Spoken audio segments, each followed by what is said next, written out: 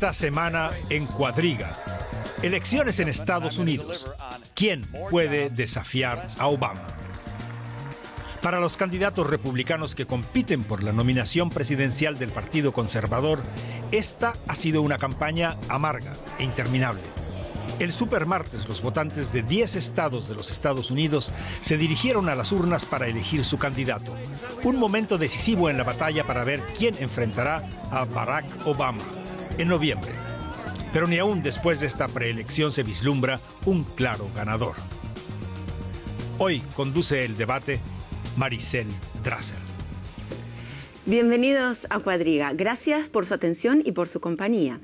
Ha pasado este esperado supermartes y que ha quedado para muchos apenas una clara víctima, el Partido Republicano en su conjunto. De posibilidades de candidatos y precandidatos estaremos hablando hoy de cara a las próximas elecciones de Estados Unidos en noviembre. Y para eso paso a presentarles a nuestros invitados. Nos acompañan en el día de hoy Miriam Bittman, gracias por acompañarnos, periodista y analista internacional con estudios en Estados Unidos, especializada en asuntos económicos y financieros. Ha trabajado para diferentes medios, entre ellos Herald Tribune, Business Week, Deutschland, Radio Berlin y BBC. También está con nosotros Esteban Engel, periodista de origen argentino, trabaja desde 1988 para la agencia de noticias alemana DPA. Primero lo hizo en la redacción española y luego como corresponsal en Venezuela y Brasil. Actualmente vive en Berlín, donde tiene a su cargo la sección Cultura y Medios de esta agencia. Y también Giner Berlekamp es periodista con estudios universitarios especializados en América Latina. Ha comenzado su carrera profesional en 1989 en Radio Berlin International. Un año más tarde comienza a trabajar en el diario Berliner Zeitung, donde hasta hoy es el responsable del Departamento de Política Exterior. Gracias a los tres por estar aquí y vamos de lleno al tema. ¿Es Obama, así como están las cosas, imbatible? No, absolutamente no, pero lo que pasaba el martes es un apoyo para él. Tenemos muchos meses, tenemos que recordarnos que tenemos muchos meses hasta noviembre. Ocho. Oh, sí. Y hay muchas cosas que pueden pasar entre hoy y, allá. Pero eh, cuando veo el Partido Republicano, es una catástrofe lo que está pasando en este momento. Yo no sé si ustedes están... ¿Cuál es el primer balance de este supermartes? Bueno, el, resultado obvio es que no hay un ganador claro, que em, Mitt Romney tiene 145 delegados más o menos, Santorum está por los cuarenta y tantos, eh, lo que significa que em, para llegar a los 1.100 delegados, los dos tienen un, trecho bastante largo todavía.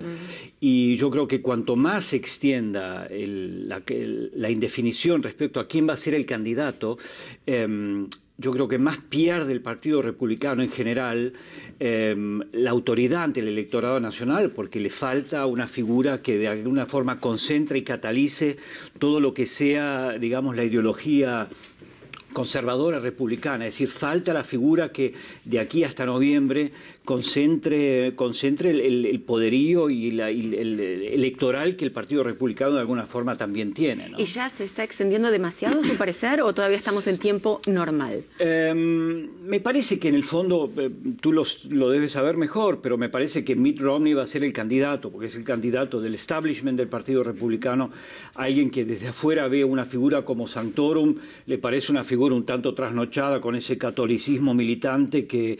Em, que realmente llama la atención desde afuera, que creo, que creo que en Estados Unidos es un poco diferente la percepción. Em, pero que de todas formas em, lo que hace es debilitar un poco a la figura de Romney, porque lo deja bastante, sí, bastante débil, bastante como una alternativa más. Es decir, el problema es que mientras Romney aparezca como una alternativa más del partido, Em, no va a poder sentarse y, plantar bandera y decir yo soy el, yo soy el candidato republicano. Si hablamos de candidatos, precandidatos y todo lo que puede pasar, está claro que Romney y Santorum siguen en carrera. ¿Puede esperarse que en el corto tiempo alguno de los otros candidatos abandone esta carrera? Creo que no, creo que más de todo es una cuestión de finanzas. Mientras que les den los fondos para seguir en la carrera, lo van a hacer. O sea que Romney asegurado. Romney asegurado, Santorum ya lo tiene más difícil, pero con los éxitos que tiene en las urnas, no creo que salga él y Ron Paul y Newt Gingrich mientras que les den los fondos, porque no. Además tiene una diferencia esa campaña, si la comparamos con la de hace cuatro años del Partido Demócrata en ese momento. Ahí también había una pelea casi a muerte entre dos candidatos, entre Hillary Clinton, la clara favorita, que por supuesto la tenía garantizada la candidatura, como ahora se decía de Romney, y ese, ¿cómo se llamaba? Barack Obama, que nadie conocía y que surgió como una estrella. En algunos puntos, eso coincide con lo que está pasando ahora, que nadie tenía a Santorum en, el, ticket, nadie creía que él pudiera Hasta hacer hace algo. pocas semanas era un desconocido, dicho por él mismo, ¿no? Pero son dos candidatos débiles. Y eso le da mucho espacio tanto a Newt Gingrich como a Ron Paul a poner sus puntos también en la agenda todavía y aunque no puedan ganar al, final, por lo menos pueden dejar su huella y pueden obligar a los otros a reaccionar. Pero yo no estoy de acuerdo con eso, porque hay una súper gran diferencia entre la, eh, entre la organización de Santorum y la organización de Obama. Obama tuvo una organización impecable, pero y yo no puedo exprimirse cómo él era en 200, 2008. Eh, la, organización fue fantástica. Es, eso es una razón grande porque, eh, porque él ganó contra, contra Hillary Clinton. Pero Santorum es una catástrofe su organización. No pudo presentarse en varios estados. En Virginia, un estado muy grande, no estaba sobre el ballot. La gente no pudo, eh, no pudo votar por él porque su organización es le faltaba la organización de, de, de um, uh, mostrar y de irse y de inscribirse de, porque de, de ser en, en un candidato en este estado y en otros estados también. Pero además, en cuanto a carisma, prácticamente no se puede comparar, ¿no? Obama tiene mucho más carisma que Santorum, pero Santorum, uh, hay gente, eh, lastimamente en los Estados Unidos, que son muy extremo al derecho que él, le gusta el Centurion por, por, eso, por su, lo que está diciendo. Pero por la masa de los Estados Unidos y, los, y el Partido Republicano tradicionalmente, yo no veo que la mayoría de ellos vaya a, votar por Centurion. y si... tipo de carisma sí es lo que ejerce sobre sus bases.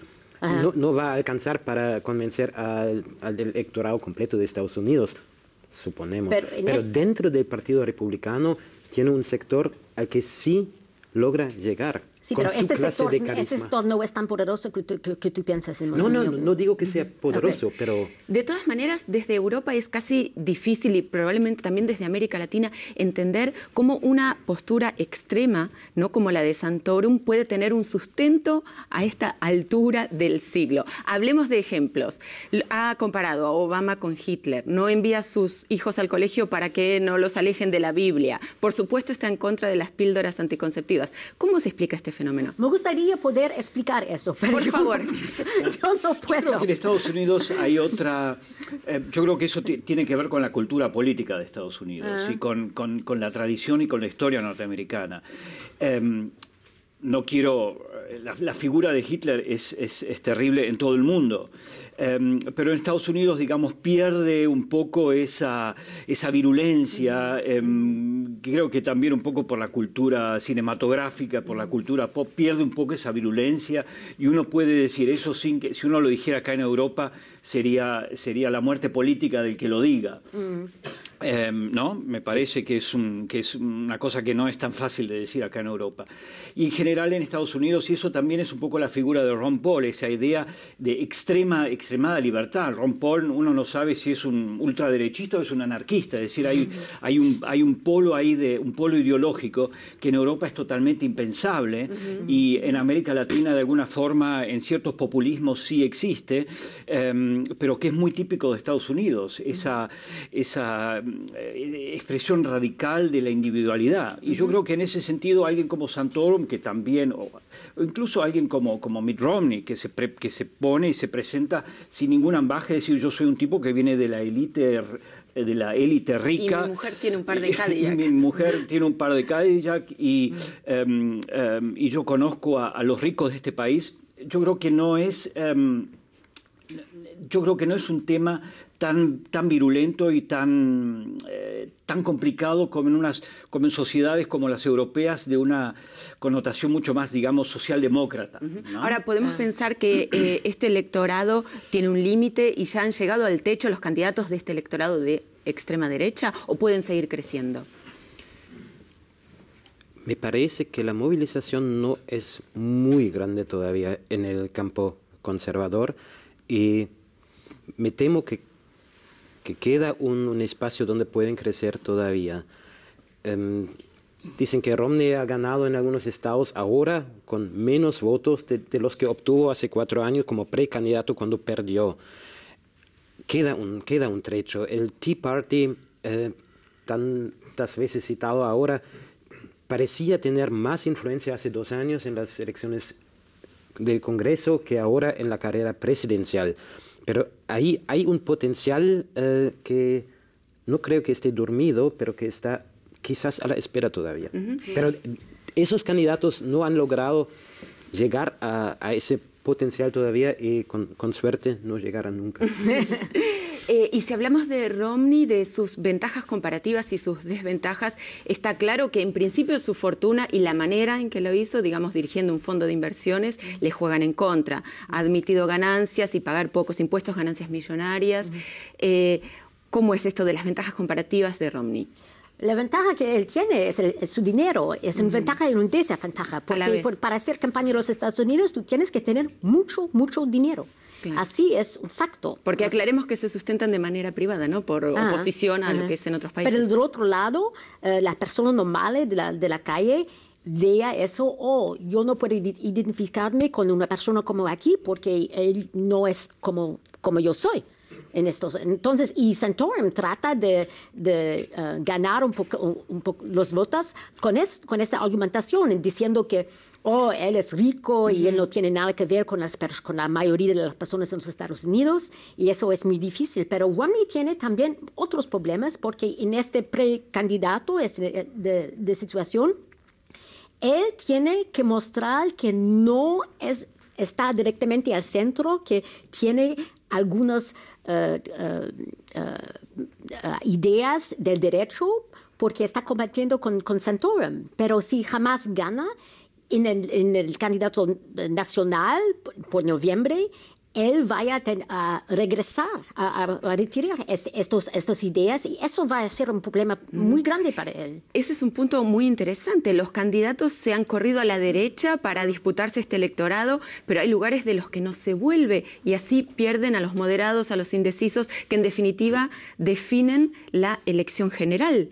¿Podrían haber implementado una estrategia más inteligente me parece que, hay dos elecciones en Estados Unidos. Están las primarias y están las elecciones en serio.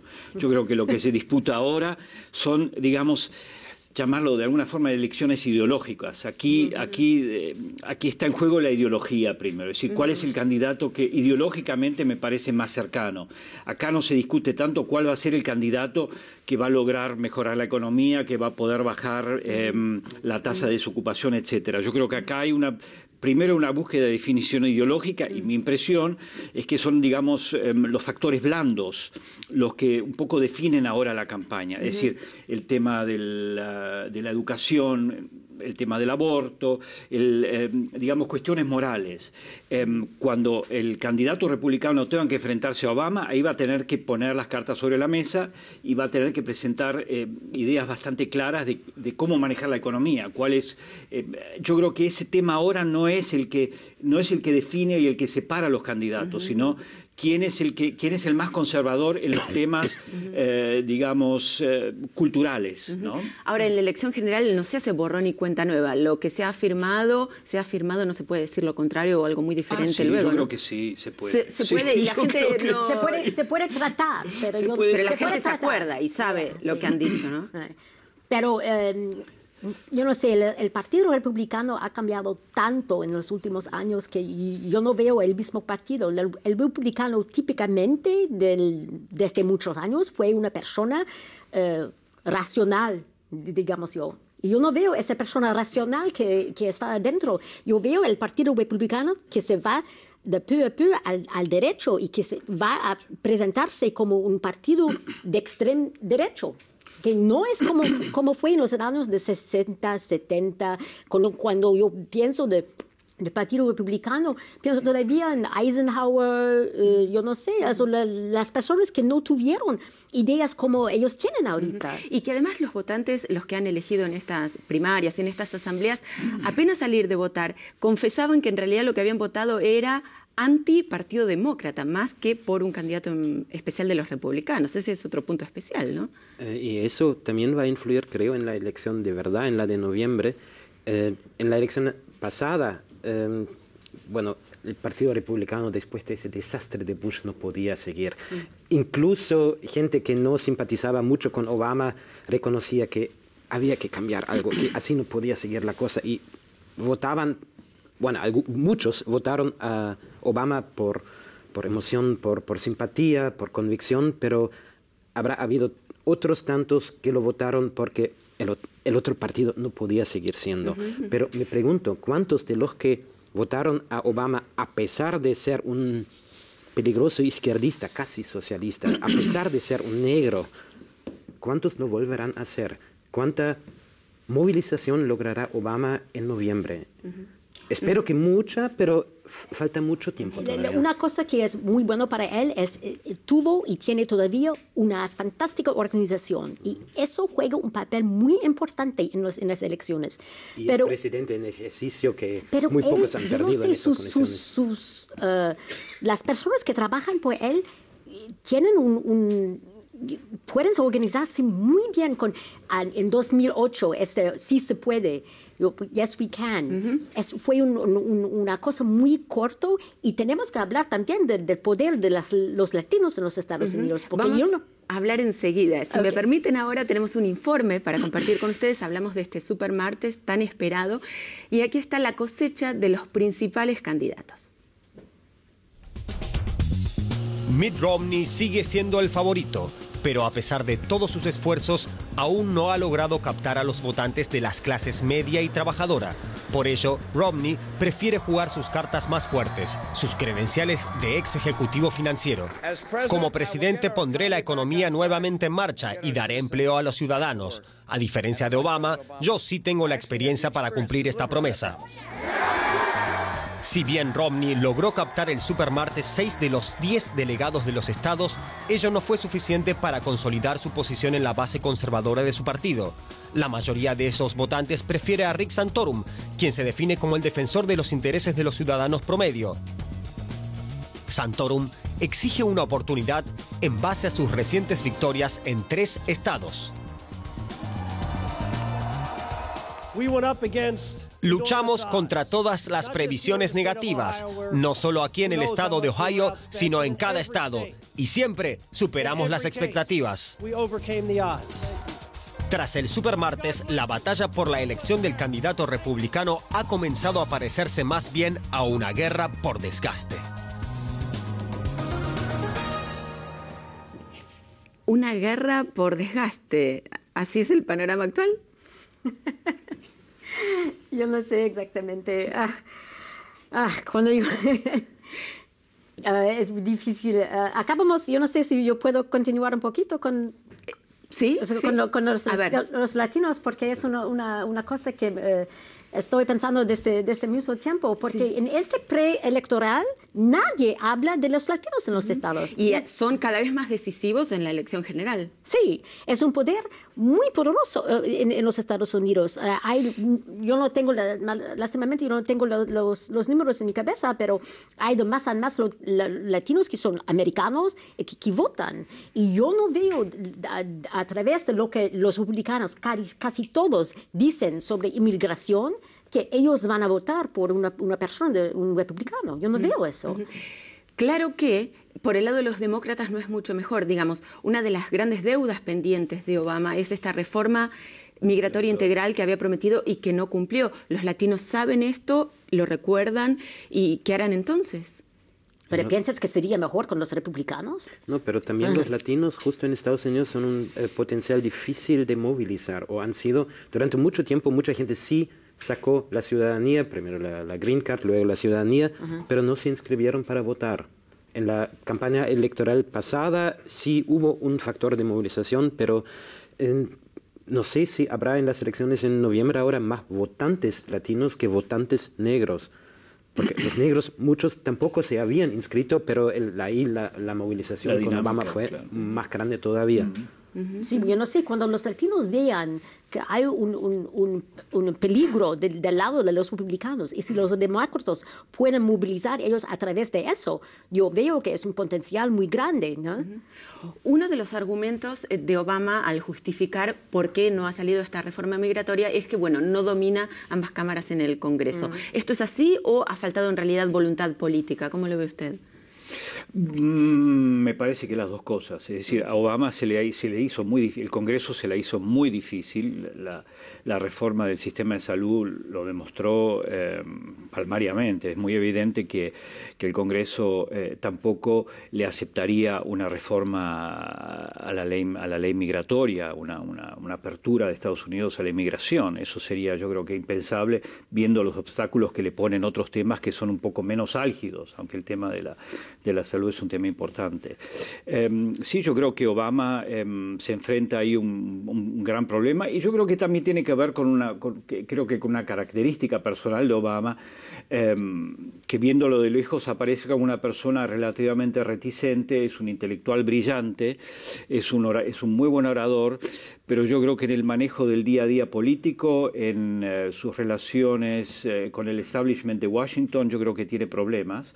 El hecho de que haya tenido que cambiar a sus asesores en el lapso de estos cuatro años es una muestra del gran número de asesores que ha, que ha, que ha cambiado, sus, asesores, sus asesores económicos especialmente. Sí, pero em, ese pasa con todos los y, y, yo creo que eso es em, que eso también tiene que ver con, con, la figura de Obama, con su carácter, con su personalidad, que es cautivante eh, a la hora de las elecciones y a la hora de hacer campaña es, un, es una persona que va a hacer una campaña excelente, de eso yo creo que no, no tengo duda, pero que digamos en materia ejecutiva, que es lo que demanda el sistema político norteamericano, que es un tipo fuerte, que, que tenga las riendas en la mano, Obama aparece como una persona, yo no diría débil, pero dubitativa y muy propensa a considerar siempre los dos lados de la, de la los dos lados de la, balanza, como buen intelectual que es. Sí, pero ¿qué quieres que él haga con este Congreso? No, no, pero ¿por qué hablamos de ese Congreso? ¿Por qué no hablamos también del primer Congreso con el que empezó su legislatura? Ahí tenía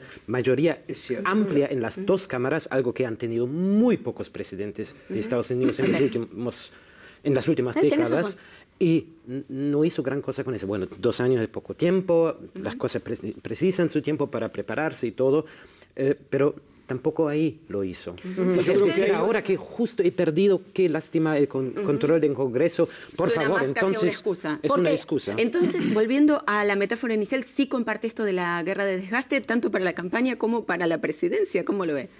Para la presidencia no sé, eh, porque un presidente que ha ganado una elección nacional empieza con en otro, en otro nivel que el candidato que termina la campaña. Es, es poco tiempo, pero de, de pronto eh, es el presidente de esa poderosa nación. Y Yo creo que un papel importante va a ser, porque en Estados Unidos la política es muy de corto plazo, la situación económica específica cuando, cuando los dos candidatos en septiembre, en agosto, septiembre, octubre, se enfrenten en los debates. Ahí Obama va a poder, va a tener que poder decir, discúlpeme la formulación, de que la economía está funcionando mejor, de que hay menos desocupados, etc. Si Obama en ese momento se enfrenta a, un, a una caída, eh, por ejemplo, de la desocupación, Em, o al colapso de algún gran banco, alguna gran empresa automotriz, no lo sabemos, ahí se le va a hacer difícil. Vamos a em, volver sobre este punto porque hay mucho para hablar, pero para terminar con lo que es la campaña republicana, queda, como dice Romney, solo esperar que el paso a paso se vaya consolidando y si bien no acarrea las masas ni tiene un fervor de adhesión, sin embargo, ¿va a ser nominado? Yo pienso que sería, eh, sí. Es, es, una, es una cuestión, una pregunta de, dinero y él tiene mucho más que los otros. y de los números. Es, es una, la campaña es muy buena, una, una, cosa matemática, y yo veo que, pero no va a ser un candidato muy poderoso, en, mi opinión, a causa de lo que estaba pasando. Y que Gingrich y Paul siempre están. Y nominación es algo muy distinto a consenso, porque después de estas discusiones, después de estas acusaciones, puede ser nominado, pero no por eso adherir en masa. pero será el candidato anti-Obama. Eh, la, cuestión en noviembre muy probablemente, eh, bueno, será la economía, it's the economy stupid, como dijo Bill Clinton, y la otra es eh, si se encuentra una mayoría pro-Obama o contra Obama. No importa que sea pro candidato conservador. La cuestión es si hay mayoría pro-Obama o anti-Obama. Y aunque parezca tarde, se dice incluso que se siguen buscando candidatos justamente porque no se genera esta adhesión deseada. ¿Habrá por alguien escondido ahí? lo, interesante de los congresos republicanos, de los congresos en general, es que puede ser que un candidato traiga una mayoría, pero eso no significa necesariamente mm. de que de esa mayoría salga el candidato que que tenga la mayoría de delegados. Mm. Em, estuve leyendo antes, para prepararme, estuve leyendo en cinco oportunidades en la historia norteamericana salieron candidatos de partidos que no habían competido en las primarias. Abraham Lincoln es uno de ellos. Mm. Em, y en ese sentido, em, también puede haber una sorpresa ahí. No sé, de pronto saquen a alguien de la galera, como Sarah Palin, que de alguna forma eh, eh, tenga la capacidad de de aglutinar, de aglutinar el, todo este espectro, que no, aparecería como una figura no desgastada por, por, la campaña em, y, eventualmente podría presentarle batalla más, em, digamos, más fácilmente a Obama. ¿Se imagina algún escenario así? Porque aclaremos, como lo decimos recién, que estos delegados no tienen un mandato vinculante, es decir, no están obligados a votar por. Entonces, por lo menos en teoría, puede pasar alguna otra cosa. ¿Se imagina como probable un escenario distinto? ¿Algún general? Mm, ¿En, la elección general o por el fin? En, la convención republicana. Yo no sé, yo no veo, yo pienso que hay muchas, mucha gente dice muchas cosas sobre Santorum, pero yo no veo que es un amenaza muy grande por, uh, por uh, Romney, que yo veo que Romney va eventualmente ganar por varias razones, eh, principalmente por el dinero. Y estaría claro que es en todo caso el que más probabilidades tiene de darle pelea a Obama. No, yo no veo eso. No es el que más dentro de los candidatos republicanos. Hay otro que tenga más probabilidad de darle pelea a Obama. Eh, yo pienso que a través de todos los candidatos que yo veo, que Romney es más peligroso por Obama que Santorum. Santorum es completamente al derecho. Hay, gente en los Estados Unidos. Los Estados Unidos es un país donde la religión y la, la, vida pública es muy separado. Y cuando yo veo lo que Santorum quiere hacer, es un melange entre, entre los dos. Y la mayoría, yo quizás eh, me equivoco, pero yo pienso que la mayoría de los americanos no quiero que la, que la iglesia, cualquiera la iglesia está, es, eh, se mezcla, se, se, entra en la vida pública. Yo no veo eso. Eso es lo que quiere él.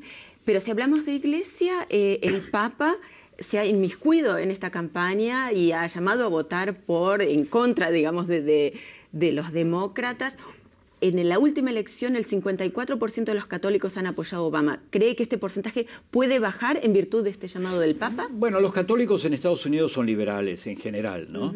Eh, por eso llama la atención de que Santorum, eh, cuando yo me enteré de que Santorum era católico, me llamó la atención, porque uno piensa que esa forma de, digamos, radicalización religiosa, ideológica, em, es más bien del, de, digamos, de los, de los protestantes o de los evangélicos en Estados Unidos. Em, no, yo creo que no, los católicos Em, de, la costa oeste norteamericana, donde están, donde, donde están sobre todo, siempre han sido históricamente, pensemos, Kennedy es, uno, es su, digamos, su representante más, más famoso, em, siempre han, tendido hacia, hacia el centro, hacia la izquierda. ¿no? Yo creo que em, ese, ese electorado no se le va a perder a Obama. Pero es interesante que en el caso de Kennedy todavía se cuestionaba, en aquel momento, hace solo 50 años, un católico puede ser presidente de Estados Unidos, y ahora nadie cuestiona que Santorum sea, siendo católico. ¿Y qué católico? Y qué católico. Pero yo, creo que, la mayoría de los americanos no piensan que es católico porque lo que él está diciendo es eh, cristian evangelista, que no tiene nada que ver con la religión católica. Lo Preconciliar por lo menos. Ah, Esto está muy interesante, pero si me permiten vamos a compartir otro informe, tiene que ver con el presidente Barack Obama, con su grado de consenso de apoyo en la población actual y también con los flancos débiles. Lo vemos. Las encuestas dan a Barack Obama cerca de un 50% de aprobación. Por eso, el presidente no piensa correr riesgos en el póker contra los republicanos. Para derrotarlo, aún deben convencer a los votantes de que, en áreas clave, ellos actuarían mejor que el presidente. Por ejemplo, en la lucha de poder en Oriente Medio. En la confrontación con Irán, la mayoría espera una mano dura en los próximos meses y años. Y luego está la economía, que aún enfrenta las secuelas de la crisis económica de 2008-2009. Y todavía lucha con sus más de 15 billones de dólares en deuda pública. Por lo menos, el desempleo está cayendo nuevamente en los Estados Unidos, lo cual favorece a Obama. Cuando el candidato republicano finalmente salga a la luz, deberá afrontar un partido demócrata unido, con un presidente convencido y seguro de sí. Presidente seguro de sí tiene por qué. ¿Qué podría pasar que en definitiva ponga en serio riesgo la reelección de Obama? Varias cosas. Eh, una caída de la economía, la quiebra de, un banco importante, de una empresa automotriz grande y, aunque quizás en menor medida, el tema de política internacional. Casi siempre las elecciones en Estados Unidos se deciden por lo nacional, it's the economy stupid, mm. eh, pero no podemos predecir qué podría pasar si en septiembre, octubre se le ocurriera a Israel atacar a Irán. Mm. Ahí las cosas son tan, eh, es tan impredecible qué va a pasar, eh, que aún ahí pueden pasar todavía cosas que pueden poner en grave peligro su reelección. Obama ha acusado a los opositores de tratar con ligereza el tema Irán y un eventual programa nuclear y cómo debería reaccionar Estados Unidos. ¿Están tratando de convertirlo en un tema electoral o es en realidad un tema sensible y Obama es tibio? Es un tema sensible, en mi opinión. Yo pienso que Obama le gustaría no hablar mucho sobre Irán en, este, en esta campaña, pero es para los republicanos una cosa muy bonita, porque ellos pueden presentarse como mano, duro y somos mucho más, más poderosos y definitivo contra Obama. Y Obama, es una persona que, que no sabe nada en cosas internacionales, que no es tan poderoso para presentarse muy fuerte contra, contra Irán. Y es, yo veo eso más un, un tema para los republicanos y, Obama le gustaría evitarlas eh, si, si puedo. Aunque ya ha dicho que no excluye el uso de la fuerza si fuera necesario, Obama, o sea, se ha visto forzado a decir esto. Sí, más o menos, tiene que decir algo, pero a él le gustaría no hablar mucho sobre eso. Es un tema muy sensible. Yo tengo más miedo que Israel vaya a hacer algo, yo no sé, a ver lo que, le, vaya a pasar, pero con Netanyahu todo es posible.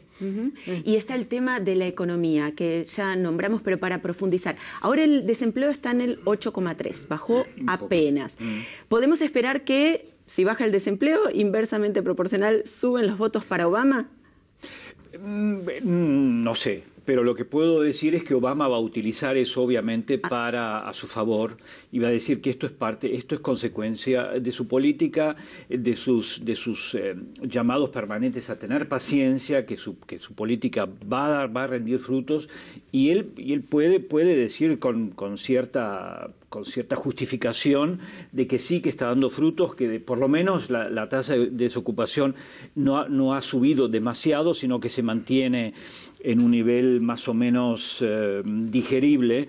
Han creado creo que 250 mil puestos nuevos de trabajo en, en, los últimos meses y en ese sentido creo que, em, que eso va a jugar sin duda a favor de Obama y, y, yo creo que esa va a ser su principal base en la campaña. Es decir, eso va a ser lo que, lo que Obama va a tener que poner sobre la mesa. Si no puede poner eso sobre la mesa, y eh, concuerdo con, con Henrik, va a ser muy complicado para él. Ahora, tengamos en cuenta que el desafío en lo que tiene que ver a empleo y desempleo no es menor. Eh, tendrían que crear 150.000 empleos mensuales solo para mantener la tasa de desempleo. Se está muy lejos de esto, ¿no? Sí. Eh, pero la economía eh, está tampoco en manos de Obama, haga lo que quiera eh, y el gobernante siempre tiene que responder por ello y la oposición siempre dirá que los logros son cuestiones de la coyuntura internacional, y, pero los, las cosas donde fracasa, por supuesto, culpa del gobierno y sin lugar a duda ellos lo harían mejor. Y ahí Romney siendo candidato, si, si llega a ser el candidato, si podrá decir yo soy empresario, yo, yo sé cómo se hace dinero. Um, hasta el eso se podría convertir cómo en hizo dinero. El problema es cómo hizo dinero Romney y yo creo que eso también va a ser un tema de un tema de la campaña porque Romney hizo dinero precisamente generando desempleo. Em, y las víctimas lo saben. Y, las víctimas lo saben y yo creo que después de la crisis del, 2008-2009 em, queda bastante claro de que de que estas empresas de, de, inversión, estos estos tiburones de los de los negocios de inversión no, no, generan, no generan empleo, generarán otra cosa, pero empleo seguro que no generan. Hay una cosa que me molesta mucho en esta discusión sobre la economía, es que normalmente Obama en su organización perfecto, pero él no... Um, pudo mostrar que, con permiso, eh, la situación verdaderamente de mierda que el herito en 2008 fue de los republicanos de Bush. Y yo no veo por qué él no puede mostrar esto a los Estados Unidos, al, pueblo. y, hay un, una ventaja de, de explicar por qué tenemos esa situación ahorita. No es por los demócratas. Bueno, también incluso hablamos de un porcentaje de apoyo para el presidente cercano al 50%. Si tenemos en cuenta que en los últimos meses solo ha tenido buenas noticias, en realidad como abogado del diablo uno podría decir ese 50% de apoyo no es tanto, porque tenemos la baja del desempleo, también podemos citar otro indicador que es la mejora de la economía en el último trimestre. Sin embargo, está ahí, cerca del 50% y si hablamos no a tan corto plazo como deberíamos, si hablamos de esas elecciones, si hablamos a largo plazo, también siendo el abogado del diablo, eh, Estados Unidos pocas veces en su historia han sido tan débiles como ahora. Tiene la economía más o menos balanceada, o sea, no tan grave como la europea con la crisis de Grecia, pero lejos de estar bien. Eh, fue en la época de Obama que China llegó a ser el gran jugador a, escala internacional. Antes lo era sin que nos diéramos cuenta, pero no lo era tanto como ahora. Ni hablemos del tema militar. fue Obama el que por fin sacó las tropas del Irak, pero de eso tampoco se habla. Dejó a Irak con un gobierno muy aliado con el enemigo número uno, con Irán. Eh, Obama está preparando otra retirada de Afganistán. Eh, Obama no se atrevió, como se hubieran atrevido así nomás, eh, casi todos sus antecesores, creo, de participar, pero a full en la, en la guerra contra Libia, mandar tropas al mm. país, a establecer la democracia, formar una nación, todo eso. Mm. Estados Unidos están en un momento débil y ni Obama ha logrado evitarlo o con su política, no sé hasta qué punto ha dicho, sí, bueno, somos débiles, ¿qué le vamos a hacer? Sí, pero y digo de defensa. En el presupuesto 2013, Obama ha anunciado sus intenciones de hacer un fuerte recorte en defensa. Esto tiene que ver con una cuestión de economía, pero también, ¿cuál es la situación en las calles en Estados Unidos? Mi percepción es que la gente en realidad está cansada de guerras. Está muy cansada de guerras y la, persona en la calle eh, normal quiere obtener un trabajo. Y, eso es el, punto más importante. Él no importa lo que está afuera, es, me gustaría trabajar. Eso es verdaderamente el, punto principal en los Por Estados Unidos. Ron Paul tiene un apoyo en este momento tan significativo, aunque no tan grande. ¿Y se generará adhesión y fervor con vistas a las generales, teniendo en cuenta que hasta ahora hay un cierto desaliento en las filas? Em, em, en general, en la población. Em, yo supongo que esta va a ser una elección, una elección controvertida, va a ser una elección reñida, porque mal que viene hay mucho en juego. Es decir, la elección de Obama significó de alguna forma un quiebre una decisión en la historia norteamericana. Eh, y yo creo que acá también se juega un poco eh, la cuestión si Estados Unidos, es decir, recién el segundo periodo Obama va a demostrar si, su elección hace cuatro años realmente es el quiebre y es es el, digamos, el cambio de rumbo dentro de la historia norteamericana que se pensaba que era. Es decir, em, en, su segundo periodo electoral supongo que vamos a ver a otro Obama, si es que gana, mm. em, pero también em, vamos, eh, yo creo que existe la posibilidad de que mucho de lo que nosotros ahora le estamos reclamando, o los europeos le reclaman a Obama, pueda de alguna forma realizarse más fácilmente. Pero yo creo que eso tiene que ver también con, el hecho de que, em, de que, hay un, digamos, hay un giro dentro de, un giro general dentro de la política norteamericana. La pregunta es si podrá realizar estas cuestiones pendientes, porque eh, hay quienes dicen que luego de este lema tan exitoso de sí podemos, en realidad ahora está el lema de ¿por qué no pudimos? Ese es el tema. Yo no tengo tantas esperanzas que Obama 2 sea otra cosa que Obama 1. Eh, yo eh, esperaba hace cuatro años que ganara Obama y no Hillary Clinton porque esperaba que él pudiera hacer más y yo no estoy desencantado con él porque no esperaba que pudiera hacer más, porque sí, es el presidente, pero tiene un Congreso. Son eh, buenas palabras para ir terminando. ¿Cuál sería el balance que podemos esperar de aquí en más? Muy breve. Ah, yo no sé exactamente. Um, uh, yo veo que Obama en el segundo periodo puede obtener más, pero um, uh, él tiene que ganar principalmente. Y eh, como dije al principio del programa, tenemos ocho meses desde hoy hasta noviembre y hay muchas cosas que pueden pasar. ¿Hay mucho que puede pasar? Sí, yo creo que eh, ella tiene completamente razón. Yo creo que van a ser ocho meses muy interesantes para observar, porque yo creo que hay mucho en juego en el fondo, ¿no? Es decir, no solo ideológicamente, sino también en materia política. Que los demócratas ya estén hablando de una reelección y de candidatos para el 2016 es una exageración, entonces. Sí. Muy bien. Hasta aquí, Cuadriga, por el día de hoy. Gracias por habernos acompañado. Gracias a usted también por habernos acompañado y por su atención. Todos dirían, hay muchos que dicen que en realidad el camino está bastante libre para Obama para la reelección. Un poco por mérito propio, mucho por desaciertos ajenos, pero ya hemos visto que no está dicha la última palabra. Hasta aquí, Cuadriga, por el día de hoy. Muchísimas gracias por habernos acompañado y recuerde que puede escribirnos a la dirección que figura en pantalla. Gracias y hasta la próxima.